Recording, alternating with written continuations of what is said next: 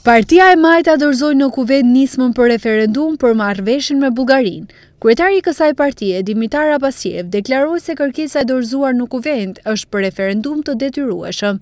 Ai tha se janë grumbulluar shtatëqind e pesëdhjetë nënshkrime, ndërsa pyetja në referendum do të jetë, a jeni për vazhdimin e negociatave me BE-në me pranimin e konstatimeve të Kuvendit më gjashtëmbëdhjetë korrik të vitit dy mijë e njëzet e dy.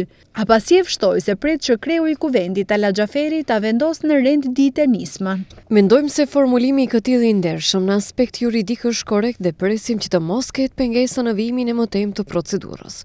Gjë e vetme që duam ta potencojmë është problemet me të cilat u ballafaquam, përkatësisht krahas asaj që kemi procedurë më të rëndë në Evropë për grumbullimin e nënshkrimeve, kishim edhe mungesën e ekipeve të plota të Komisionit Shtetëror Zgjedhor, tha Dimitar Apasiev nga Partia e Majta.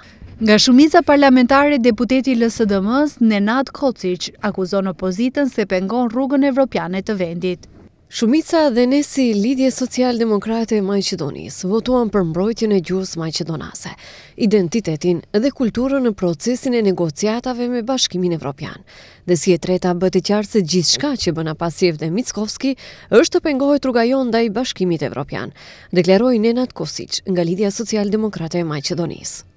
Iniciativë për referendum për marrëveshjen mes Bullgarisë dhe Maqedonisë së Veriut, një muaj më parë ngriti dhe VMRO-DPMNE, por kryeparlamentari Talat Xhaferi e refuzoi nismën me arsyetimin se marrëveshja ishte ndërkombëtare dhe e ratifikuar në Kuvend, dhe sipas Kushtetutës nuk mund të ndryshohet me ligj.